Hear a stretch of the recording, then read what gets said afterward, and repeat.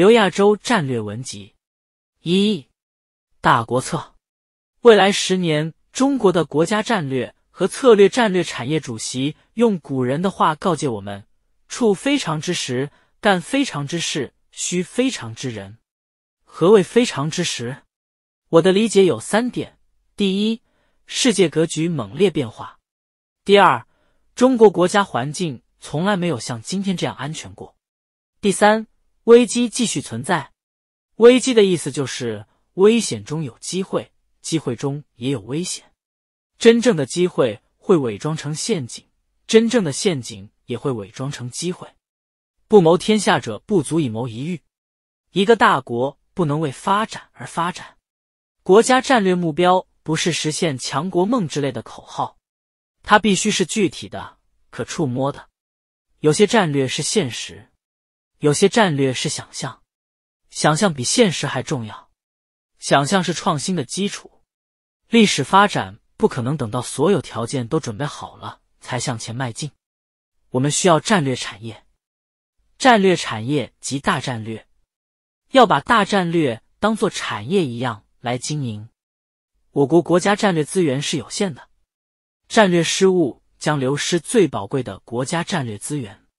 以江主席为核心的党的第三代领导集体运筹帷幄，制定了宏大的国家战略目标，并且避免了发展中国家制定国家战略时的两个通病：一、发展中国家往往没有战略产业，缺乏明晰的国家战略目标；忽而虚，忽而实，虚实特别抽象，实时特别具体。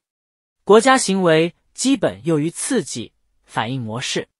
雨来打伞，风来穿衣，就事论事，随机应变多，长远谋划少。过去我们也如此。毛泽东凭直觉搞战略，虽不乏光彩，但终先天不足。他只游过江，没出过海，局限性是显而易见的。文革是最大的败笔。百年来，中国始终没能成为现代意义上的世界大国，原因故很多。但缺少全球视野，缺乏对内对外政策的通盘谋划是重要原因。二，战略谋划应当是冷静的，甚至是冷酷的。而发展中国家制定战略时，往往被冲动和狂热牵着走。发展中国家在国际社会中有许多不得意的时光，加上近代以来饱受屈辱的事实，人民在看待国际事务时，经常有一种抗衡心态。换句话说，就是历史上的受害者心态，这使人民敏感和易折。其实，该得到的未必已经得到，不该得到的必须放弃。只有理性占主导地位时，情绪才能发挥其应有的作用。人在心乱的时候，所有的决定都是不智的。大象世界是一片丛林，西方在处理国际事务时，从来就倡导的是。充满社会达尔文主义的丛林法则，在这片丛林中，中国是什么？美国无疑是狮子。我认为中国是大象。大象可以隐藏在树丛中，但还是大象。你可以宣称自己不是森林之王，你还可以尽情的展示温顺的形象，但你不能否认自己是大象。你的战略地位一旦曝光，就不可能再缩回去。狮子不必咆哮。大象不必躲藏。一，经过中国共产党不懈的努力，中国已经完成了由一个弱大国向次强国的转变。中国人为此梦想百年，孤独了何止百年？美国对中国的态度越来越强硬，便可佐证这一点。现在不是中国想不想与美国为敌的问题，而是美国从自身利益出发，必须与中国为敌的问题。二。中国是个比任何国家都更能把举国之力集中起来运用的国家，它的无形影响力比那些有形的国力指标所能显示的要大得多。这是社会主义国家最大的长处，也是社会主义国家最大的短处。运用的好，其兴也速；运用的糟，其败也速。苏联就是前车。三，今天中国是一个拥有非洲般贫困。和欧洲般富足的国家，而这恰恰是西方中国威胁论兴起的根源。他们在中国发达的东部看到的是惊人的发展，感到的是中国的威胁，他们在中国落后的西部看到的是惊人的贫瘠，感到的还是中国的威胁。因为你无论要维护东部的繁荣或改变西部的贫穷，都需要更多的资金、能源和市场。资源之争是新世纪的根本之争，这种争斗是你死我活的。这里有一个切蛋糕的原理，蛋糕就那么大，想切的不止你一个，你多切一块，别人自然就少切一块。这就是威胁。中国威胁论不能简单看作是西方反华势力制造的一个阴谋。对有的国家来说，中国是希望；对有的国家来说，中国是挑战。感情使一些国家接近中国，理智却使他们离开中国。利益，特别是“国家利益”这个词，在中国的政治术语中出现的特别晚。改革开放以前，中国在对外交往中奉行的是重义轻利的准则。其实，即使在两个最友好的邻国间，也必然存在利益冲突。甚至越是邻国利益冲突的可能性越大。当中国的形象已经在别人心目中改变后，就不能再用以往的方式与别人打交道。大国必须有大国的气度，大国必须有大国的手段。知雄守雌之雄而不称雄，是一门高超艺术。中国现在有点像领导者，领导者的自豪和悲哀都在于时刻被人注视，把众人的目光。集中到自己身上是一种功夫，把众人的目光从自己身上分散掉，则是一种更大的功夫。世界有两种规律：一，人家只尊重强者，对弱者绝不手软；二，做弱者多不得好活，做强者多不得好死。历史上中国人爱犯这样的毛病：居于优势时，往往用作见别人的手段，以抬高自己的身价。居于劣势时，又往往用作践自己的方法以取悦对方。今天我们应反其道而行之，我们对待自己要有最清醒的认知。一，中国历来是一个战略内向的国家，这是中华文明的内核。中华文明和别的文明不同，它一登场就不再退场了。一位美国学者认为，中华文明不衰落的第一原因。是这个文明从未发动过一场远征。他认为，任何军事远征都是文化自杀。历史上对外用兵，中国人都极谨慎，但对内统一，这个民族却从未优柔寡断过。最大规模的战争都不是发生在抵御外侮中，而发生在统一战争中。再如，世界上任何一个和国家都未做出不首先使用核武器的承诺。为中国除外，具是中华文明的解读。二，今天中国的大，很大程度上还是地理和人口上的。在单项指标方面，我们不要说南往西方发达国家之项背，就是新加坡这等罪而小国，也比我们强许多。我们的胜利有相当一部分是表面上的，表面上的胜利比真正的失利更让人痛苦。美国认为。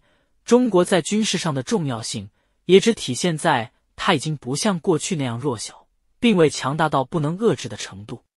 中国对美国安全的挑战，在美国看来，中国之所以重要，是因为它是现在世界上唯一将核武器瞄准美国的国家。三，为了不被别人看成威胁，索性不发展是不可能的；发展又不想被别人敌视，更不可能。这需要我们选择一种更精明的发展策略。这个策略应当是我发展，就要让别人也因此发展；我得利，也要让别人从中得利。这一点要学习曾国藩。曾国藩自己成功，也让别人成功；自己发达，也让别人发达。仅此一点，就足以做我们的老师。守慈就是在与西方的交往中，更多的选择合作，而非对抗。进行经济竞争而非军事竞争。改革开放二十年来，中国采取了搭西方经济快车的战略。今天，中国日渐丰肥，已对这辆车造成明显压力。美国和日本同时在经济上调整对华战略，就是西方对此压力做出的初步反应。目下虽不至于撵我们下车，但车票必然愈加昂贵。中国加入 WTO 步履维艰，就是此理。我们应争取主动。桥梁有句话说得好：上了车还要有下车的勇气。搭车有搭车的好处，该下车时就要果断下车。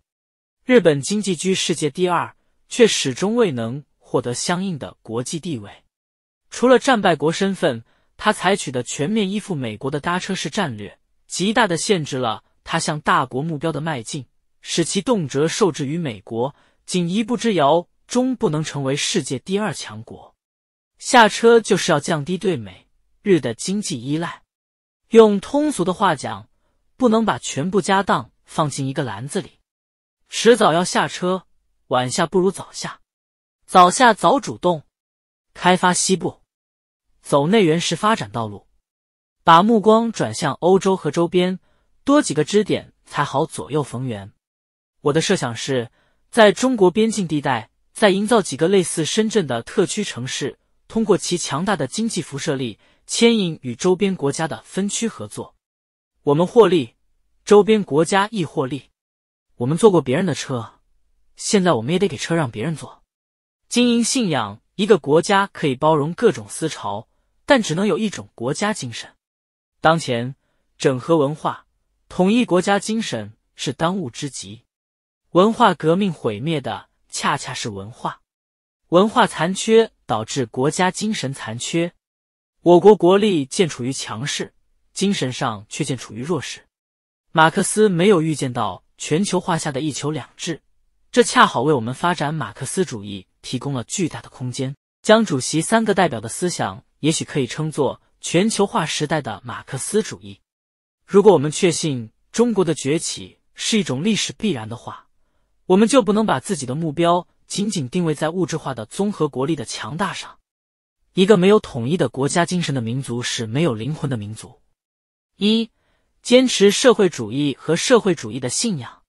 不发达国家走向发达的每一次真诚的尝试，都指向社会主义。同样。落后国家走向强大的每一次努力，也指向社会主义。信仰就是激情。如果说现今世界上存在着新的资本主义精神，那也应当有新的共产主义精神。邦萨伊德说：“世界不是一种商品。”我曾说：“权力不是印钞机，但可以变出钱来。”良心、人格、尊严不是商品，但常被当作商品出售。这是对社会主义的一种反动，道德也是一种信仰，甚至是更重要的信仰。这正是江主席提出以德治国的精髓。西方认为亡党者共产党也，正是基于我们部分党员道德沦丧乃至信仰滑坡这一事实。有的人观望别人的时候，总是谴责别人道德败坏，自己行动的时候却又在败坏道德。我们不能选择是否有个聪明的头脑，难道我们也不能选择是否有一副或好或坏的心肠？笔落在有坏思想的人手里，比刀落在谋杀者手里还危险。面子是别人给的，脸是自己丢的。腐败成了中国最大的经济损失，最大的社会贪污，最大的政治挑战。贪官一日不除，社会风气便一日不会好转。社会风气一日不好转。贪官就一天也不会绝迹。二，政治不能代替道德，道德也不能代替政治，与其混一，倒不如让二者保持必要的张力。改革的动力已经接近极限，我们需要新的刺激点。这就是总书记在庆祝建党八十周年大会上所提出的政治体制改革。变革不可避免，为了防止出现苏联、南斯拉夫等国的局面。必须在理论上和行动上做好充分准备，等待是没有出路的。改革就是稳定之一，政治体制改革是最根本的稳定。邓小平曾讲：“我们所有的改革最终能不能成功，还是决定于政治体制的改革。”把稳定看成目的，把维持现状看作是实现稳定的手段，这正是苏联解体的悲剧根源之一。过去我曾讲。中国的问题在边疆，边疆的问题在新疆，新疆的问题在南疆，南疆的问题在宗教。今天我讲，中国的希望在党内，党内的希望在中央，中央的希望在上层。政治体制改革有两个方面的内容，一方面是民主放权，变为民做主为由民做主；另一方面则是励精图治，巩固我党的执政地位，二者缺一不可。要改变万马齐喑的局面，人民会沉默，会沉思，但最擅长的却是接受。思想拒绝冗长，民主就是使看不见的东西被看见，法治就是使听不见的声音被听见。有宪法并不等于有宪政，有了法律并不等于已经实现了法治。没有法治而强调道德，就等于践踏道德。三，在动态中治国。古代中国之所以称为中国，大抵与中央主义有关。中国历史简言之，就是一群人拥向中央，一群人逃离中央的历史。历史上最强盛的朝代都是在动态中，而不是在静态中建立的。社会越运动，思想越深刻；社会越平静，思想越简单。大国是不可能被消灭的，它的衰败也好，强盛也好。都只能从内部开始。对我国国家安全最主要的战略性威胁来自内部，而非外部。即使外部压力再大，也只有通过与内部各种社会张力结合，才能引发问题。经营信仰是另一种意义上的攘外必先安内。狮子这个庞然大物太重要了，注视着它就等于注视自己。每次美国总统上台，都要牵动亿万中国人民的心。怕这个上，怕那个下，愁得睡不着觉，简直比美国人还着急。其实，美国就是美国，美国不是世界，你既不能把它全当真，也不能把它全当假。什么是美国？美国是世界上最好的，加上世界上最坏的，世界最强者也是最弱者，仅此而已。一，中美不是敌人。中国的战略利益与美国的战略利益是一致性大于冲突性。既然美国把中国当成想象中的敌人，中国何必把美国当成现实中的敌人？中美双方舆论上的互相包装，促使了两国关系的僵化。在美国方面是妖魔化中国，在中国方面是理想化美国。关系好时，两国都从所谓的最好的方面看待对方的战略意图。关系坏时，两国都从所谓的最坏的方面看待对方的战略意图，这便加深了误解。实际上，美国所有的战略都建立在利益基础上，而体制不过是维护其战略利益的工具。美国对中国拉也是为了利益，打也是为了利益，中国对美国也应如此。历史证明，什么时候中国对美关系不好，中国外交在总体上。就处于被动不利的局面。什么时候中美关系好，则中国外交就主动有利；与美和则诸事皆好，与美恶则内外俱损。我们还是要全力搞好中美关系。二，美国战略重心并未向亚洲转移，美国眼睛盯的是世界，中国眼睛盯的是美国。不能认为中国把美国当成主要对手，就以为。美国也把中国当成了主要对手，不能以为美国在意识形态上把中国当成主要对手，就认为美国在整体战略上也把中国当成了主要对手。美国的战略重点在欧洲，但战略关注点不止一处。他的战略重点不在亚洲，并不等于不在亚洲打仗。他最关注欧洲时，两场战争却都是在亚洲打的。他的重点在欧洲。并不等于欧洲就没有和平。美国对现今世界强调的是秩序，而不是统治。他不会统治世界，也无力统治世界。他倡导的是由美国主导下的合作，而非对抗。对中国和俄罗斯，美国的基本做法还是拉你参加他的秩序，条件是你必须遵循他制定的游戏规则。这种游戏规则绝不能简单的定义为邪恶的。与历史上曾经存在的，包括以苏联为首的所谓的社会主义大家庭相比，这种秩序具有较大的合理性，这也是它的接受度比历史上同类霸权要高的原因。我不怀疑美国处心积虑要使中国改变颜色。我怀疑美国是否真的有一个以肢解我国为目标、以军事扩张为手段的对华战略。现在美国不会对中国发动战争，更不会打核战争。核战争把东半球变成废墟，美国要废墟干什么？如果非要说有核战争危险，那么也是在前苏联的庞大核武器库被彻底销毁之后，核战争才有真正可能。三，中美间结构性矛盾，主要是由意识形态不同而延伸出来的主权问题。美国挟人权以令主权，中国则是主权高于人权。中国近代饱受欺凌，主权屡失，于是主权成了中国人民心目中最神圣的东西，不能碰。这个矛盾解决不了，也不必解决。每位美国总统上台都要高举人权这面旗。而后又悄悄收起。历史上，美国总统入主白宫和离开白宫时对中国的看法总是不一样的。东方不是西方的复印品。一九九七年，亚洲爆发金融危机，印度尼西亚接受西方的援助，并接受了美国开出的条件，最终带来的是暴乱和国家解体。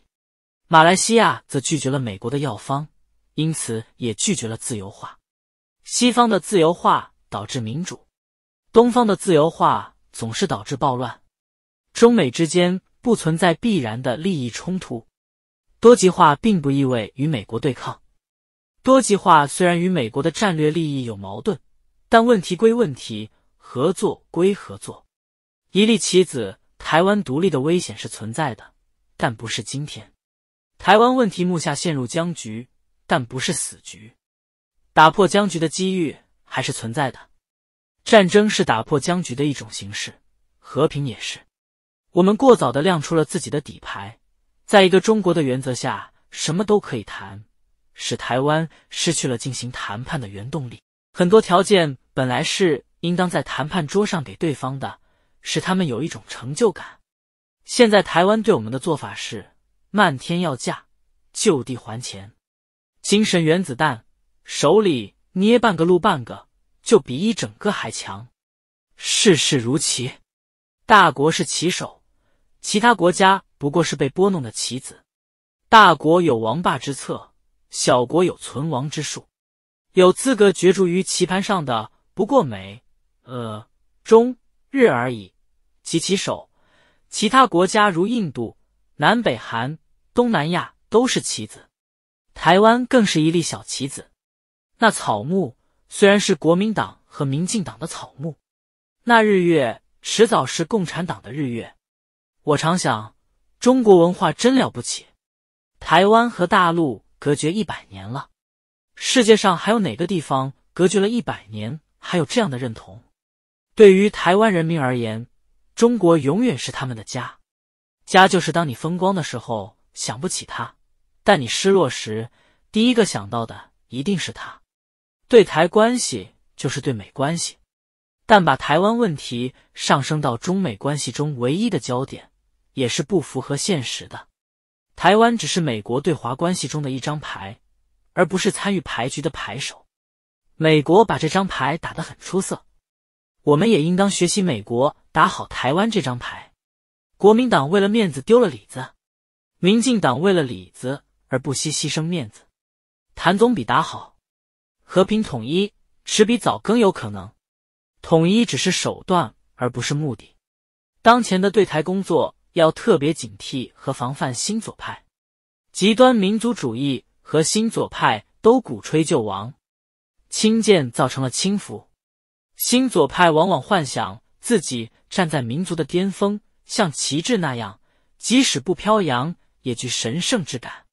对台军事斗争。准备的真正意义在于：一，从大战略角度看，台湾问题既是中美关系的障碍，又是联系中美关系的媒介点。对台湾来讲也是这样。对台军事斗争准备是把台湾拴在大陆身上的一条纽带。一九五八年金门炮战时，毛泽东说：“打炮就是要拉住你，你别跑，内战还没有结束。”这让我想起长城。长城曾是把汉族和异族分开的工具，又是汉族与异族交往融合的一个中介。二、国内政治的需要，台湾问题说到底是个政治体制问题，应当把它和大陆政治与国家体制的整个走向联系起来看。国家统一只有放在政治层面上解决，才是根本大计。江主席讲：“生于忧患，死于安乐。”台湾问题给我们提供了一面忧患的镜子，可以时刻警醒我们。当前，台湾与大陆的改革都进入了关键阶段，这也给我们提供了契机。比如，台湾今日的政治环境要比往昔宽松得多，多党制为我党政治介入提供了难得的机遇。我们不仅要与民进党打交道，还要与岛内所有的政治力量打交道，利用台湾民主政治的特点。把我党的声音在台湾岛内表达出来。三，台海适度紧张对军队建设有利。美国几乎每隔十年就有一个具有拉动力强、创新力大的重大军事科研项目出台，激活军队，刺激国家的经济增长。中国军队需要政治上的刺激点。真正的战争不在军事，而在军事之外。对台军事斗争准备，醉翁之意不在台。台湾的历史告诉我们，他从来没有在军事上成功的保卫过自己。李登辉曾寄希望于一战而独，陈水扁则寄希望于不战而独，二者都是由军事上的绝望而派生出来的政治花招。我们寻求的是一种求战的内在冲动。中国军队应当强盛，强盛再强盛。一个国家的外交能力取决于这个国家在战时。能给对手造成的破坏程度，从这个意义上讲，没有军事就没有外交。我军是著名的文明之师，文明之师并不等于是文质彬彬之师，只有战无不胜之师才称得上文明之师。我们要像进口尖端武器一样，引进外国军队的合理的机制，尤其是创新机制和管理机制。我认为，我军不应当把美军定位在对手位置上。立足于强敌介入，不等于把美军定为对手。只有立足于美国介入，才能最后争取美国不介入。只有准备战争，才能避免战争。军事是政治的继续，安全是发展的结果。台湾问题是美国长期使用的筹码。换个角度看，这个筹码使用的时间越长，也就延长了中美两国最终在台湾问题上摊牌的时间。极致可能不摊牌。目前在战略上，我所不能承受于台湾的，也正是美国所不能承受于我的。这种战略态势也许需要时间来改变。对台军事斗争准备不应该是在战区战役层次来运作，而应当融入国家发展战略的大格局中去。台湾问题再重要，也只是中华民族复兴大业的一个局部。台湾问题不是战略核心。我们越在意它，就越容易被美国和台湾当局所利用。台湾问题是我党的一笔政治资源，关键看你怎么运用。西进西进，古人说“西出阳关无故人”，我说“西出阳关天地宽”。中国西部是亚洲心脏，亚洲复兴，水主沉浮，西进应当成为我国未来十年的重要战略。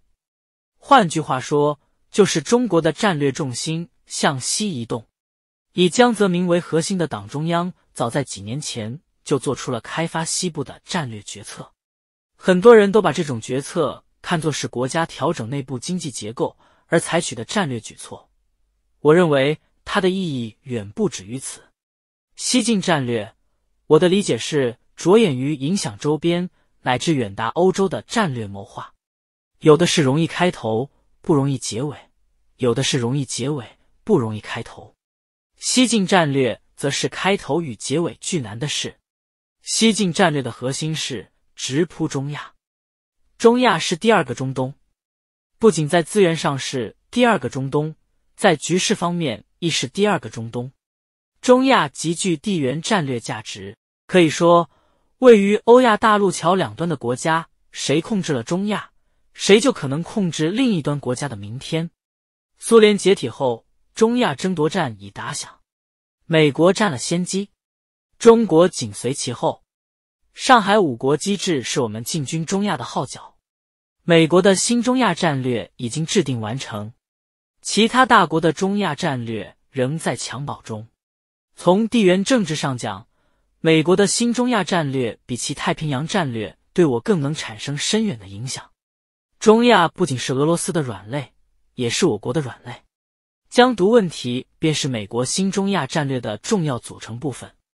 中国若要在二十二世纪称雄于世界，本世纪必须彻底解决本国的宗教问题。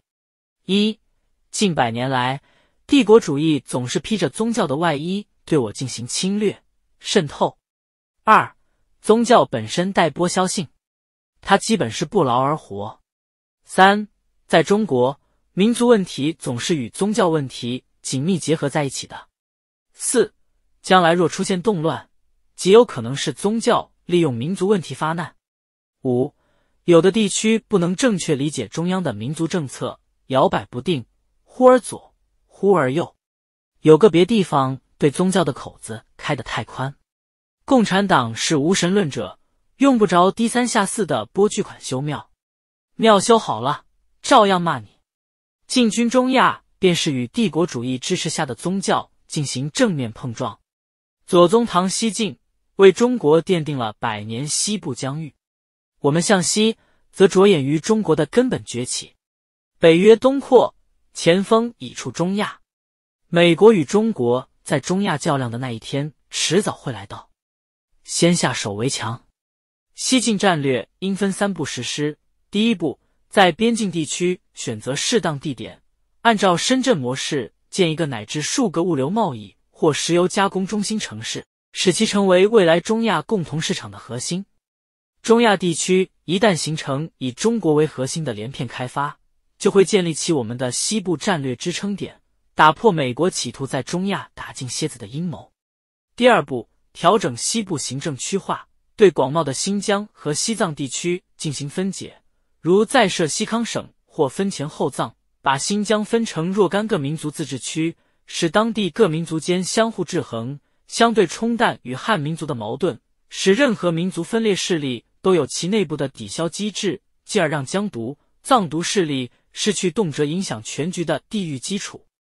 第三步，打通欧亚大陆桥，与欧洲形成一个大欧亚经济共生带，用与西方国家千丝万缕的经济联系和共同利益，去拆解美国对中国的围堵。西部地区占全国面积一半以上，空间巨大，资源万千，沉睡百年。新的地缘政治概念是：资源决定战略，谁控制了资源，谁就控制了世界。美国开发西部，地业忠诚；俄罗斯开发东部，是与美国开发方向不同，但性质相同的重大历史事件。今天我们向西，是中华民族的历史必然。也是我们的宿命，命运只对真正高尚、伟大的民族微笑。家有恶灵，日本是华夏文明圈内派生出来的一个岛国，其对人类文明的贡献和影响远小于中国。尽管他曾一度成功的侵入了他的文化母国，中国强大了两千年，给日本送去的是先进的文化；日本强大了一百年，给中国送来了屠杀。日本是中国的恶灵。中国有战日派，日本有战中派。不管中日间是否还会再战，但激烈碰撞是不可避免的。我认为，日本的壮年早已逝去。上个世纪四十年代是日本历史上最辉煌的年代，随着痛苦记忆的消失，剩下的只有对庞大帝国的缅怀，就像我们对秦皇汉武和成吉思汗的缅怀一样。日本的策略是一贯的，那就是。永远反对远东大陆上最强大的国家。十九世纪末，先是日清战争，接着是日俄战争，再接着是二次大战。美国对日本的野心看得很清楚，他被日本咬了一口之后，反过来死死咬住日本不放。美国在日本驻军，用日美安全条约把双方捆在一起，既有防俄、防中的一面，也有防日、限日的一面。今天远东最强大的力量是美国，现在明明是美国打压日本最厉害，而日本最敌视的却是中国，这一点颇值得玩味。处理日本事务，我们需要新思维、新观念和勇气。我认为，除了在台海，中日无再战可能。但中日决战台海需要两个前提：其一，大陆攻台；其二，美国撒手。目前，美国一直卡着日本，不允许他南下。美国不容日本军事染指太平洋，这是日美战略的根本冲突点。只要美国势力一天不离开太平洋，这种事态就一天不会改变。这就是我们一显身手之处了。一，改变旧目光。作为一个资源小国，日本如果再次铤而走险，目的只会是一个攫取资源和能源。这是日本当年侵略中国的主要动机。今天这种可能已不复存在。首先，中国比任何时候都强大；其次，中国资源日趋紧张。日本军国主义即使复活，极大的可能也只会北上南下，向西伯利亚和太平洋要资源。我们减轻对日本的压力，美日间发生冲突的可能性就会增大。日本是中国的宿敌。但非强敌，我的目标应锁定大敌，放过小敌。对历史旧账，应采取这样的方式：永不忘记，绝不纠缠。二、增强日本的独立性，有助于我国安全。应有条件的支持日本在世界多极化潮流中的一些合理要求。日本的强大是不可阻挡的，它目前是军费大国，还不是军事大国。日本的公司像军队，军队却像公司，早已军民一体化。某一天清晨，他会突然翻身坐起。既然挡不住，不如顺水推舟。比如，如果多数国家同意日本成为联合国安理会常任理事国，我也未必坚决反对。这样一可以满足日本要求，化解日本朝野对我的敌对情绪；二可以使美俄将主要对手锁定日本。两强之间必然爆发战争，这是历史规律。一个强大的日本比日美联盟容易对付，独立的日本可以成为中美间的缓冲区。三，逼日本北上。只要台湾独立不得，中国就卡住了日本的生命线。日本为获得生存所必需的资源，只能向北。我们是否可考虑支持日本收回北方四岛的立场，鼓励其北上的决心？我判断，日本有可能与俄罗斯在不久的将来争夺西伯利亚，其大致做法不外其二：除向西伯利亚投资以对其进行控制外，还可能暗中支持苏联解体时出现的主张西伯利亚独立、建立阿穆尔共和国的地区分裂势力。如果这一前景实现，结果不是两败俱伤，就是俄罗斯被进一步削弱，最终退出亚洲。获取西伯利亚控制权的日本格白令海峡虎视阿拉斯加，自然对美构成巨大威胁。美日一过招，世界又有好戏瞧。如果俄罗斯对日本单独开发西伯利亚有疑虑，中国可建议由中日俄三国联合开发。中国这一腿插进去，就再也不拔出来了。现在中国人已深入西伯利亚，如水银泻地。普京不止一次警告。西伯利亚要用中文了。中国人多，唯缺乏战略指导和有效组织。凡是有日本人的地方，就没有中国人；凡是有俄国人的地方，就有中国人。中美友好对日本不利，中日友好对美国不利。灵活自如的驾驭这些关系，需要成熟的国际感觉。百合策张万年副主席说：“战略不等于策略。”大战略确定后，策略和谋略就成为实现战略的关键。一、中国与俄罗斯。近一百五十年来，中国有一百四十年是在俄国的压力下沉重的活着。只有苏联解体这十年，我们相对轻松一些。林则徐说：“亡中华者，必俄罗斯。”俄罗斯民族是个扩张民族，也是个自我更新精神极强的民族。他用几百年时间完成了从原始部落到资本主义的历史性跨越。一九一七年，俄国创造了社会主义；一九九一年，他又重新选择资本主义。他不断革故鼎新。这样的民族是不会久居人下的。看懂了俄罗斯的双头鹰国徽，就看懂了俄罗斯民族。他一头看着欧洲，一头看着亚洲。现在这个徽章就挂在普京座椅的上方。俄罗斯已经比苏联小了很多，今后可能再小下去。版图小了一些，人的自由却多了许多。这是俄罗斯重新崛起的原动力，不可不防。我们要警惕俄的复苏，更不能帮助俄复苏。我们该做的只能是借助俄罗斯的力量，以抗衡美国，但切不能把这种借势演化为结盟关系。普京对美国打中国牌，我们对美国打俄国牌，既要眼高，还要手快，制敌而不至于敌。其实中俄。都在利用对方的资源来壮大自己，只有俄罗斯的弱势状态不改变，中国才有借助它的可能。因此，中国的对俄战略只能建立在这样一个基点上：既不能让俄罗斯强大到有能力威胁我们，也不能让他虚弱到彻底倒向美国。其实，美国也是这么干的，他不想让俄罗斯虚弱到倒向中国。任何两方相争，第三方都会渔利。有一个问题应引起我们的警觉：我国从俄罗斯进口的是尖端武器，俄罗斯从我国进口是民生用品。尖端武器昂贵且很难找到替代国，民生用品便宜且很容易找到替代国。中俄贸易顺差在中方，主动权则在俄方。从长远看，我们不能为俄罗斯输血。二，中国与印度，印度。没有远大的世界战略目标，印度自立国以来一直奉行机会主义国策，他的大国梦完全建立在一个不现实的梦想上——战胜中国。以前，印度军事实力的增强主要是为了防范中国，而不是进攻中国。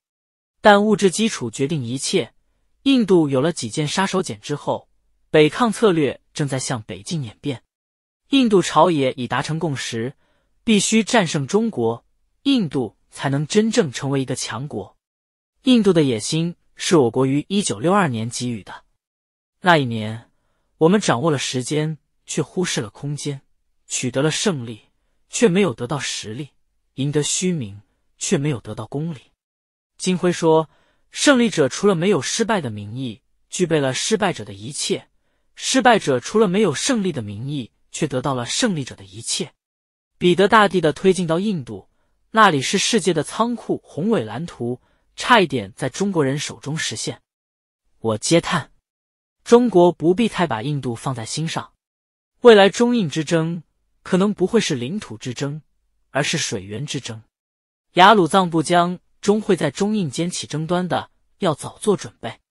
泰戈尔诗句中有一句谶语般的话：“河岸对河流说。”国际水道是二十一世纪最具危机点的地域，中东地区已由领土之争渐渐转变为水源之争，现在的新名词叫水战。我对印度应实施战略警戒。我有一策：东西前击，泰山压顶。巍巍喜马拉雅山绵延数千公里，平均海拔六千米以上，不利于养攻，却利于俯冲。倘若后勤无虞，江河高下。一泻千里，冰封再扣印度平原也不是不可能的事。这就是泰山压顶，东面经营云南，云南距印度咫尺之遥，中间只被缅甸北部割断。那里是中国军队传统的作战地域。吴三桂曾征缅甸，二战时中国远征军从印度经缅甸打回云南，我军解放初期也一马边陲。缅北三角区成为我想来就来、想走就走的自由之地，注重云南战场建设势在必行。纵陆军不出缅甸，在滇西建大型军用机场，部署苏三零军机，印度亦不能承受其重。西面全力支持巴基斯坦，以天敌制敌，印度无法抵御中国和巴基斯坦的同时进攻。从经略中亚的角度看。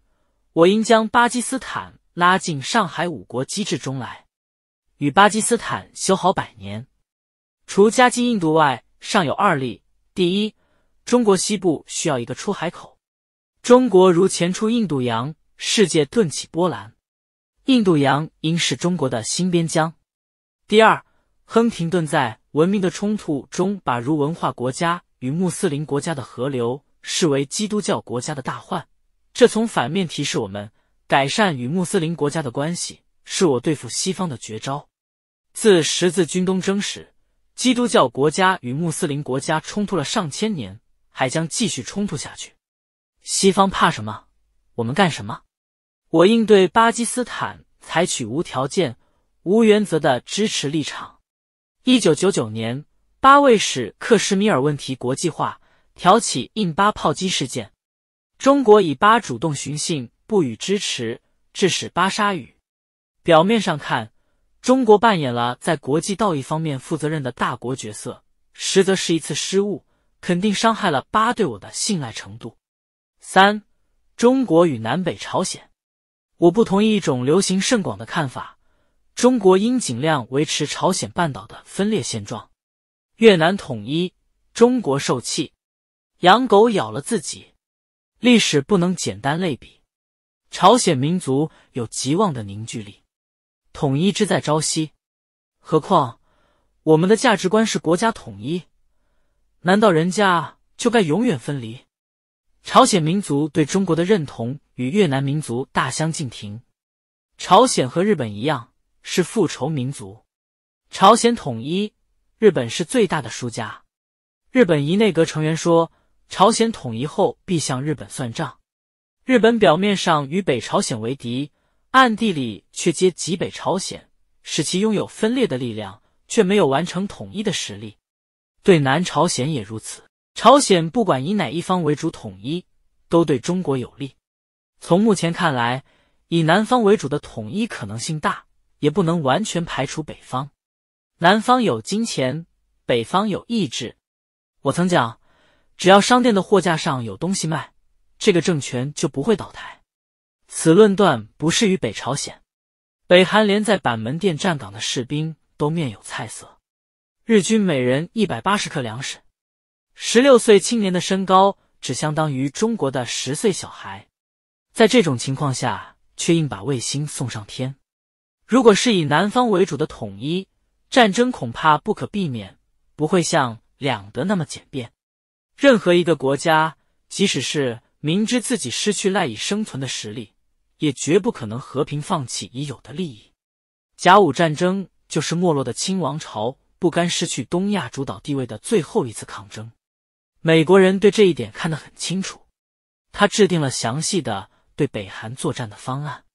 在美国亚太战略的棋盘上，朝鲜半岛的分量重于台湾。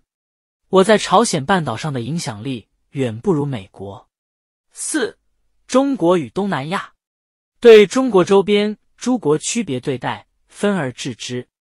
东南亚几乎所有国家都对中国怀着复杂心理，想亲又不敢太近，想离又不敢太远。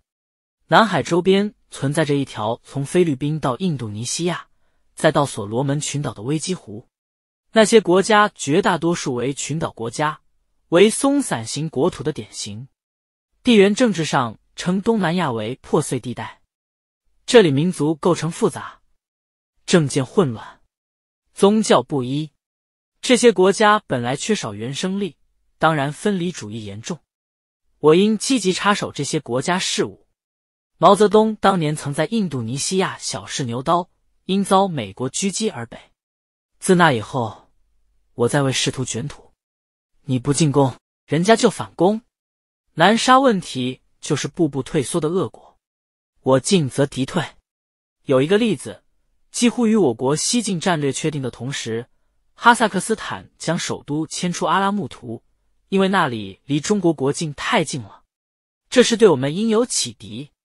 中国南海以日趋巴尔干化，南海掀起了圈地大潮，六国七方割据南海，南沙群岛已久，被瓜分完毕。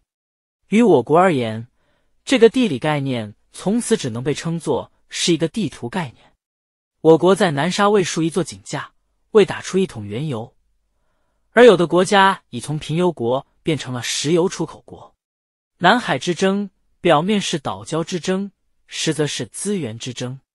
用历史准则看，中国占上风；用地理准则看，菲律宾等国占上风。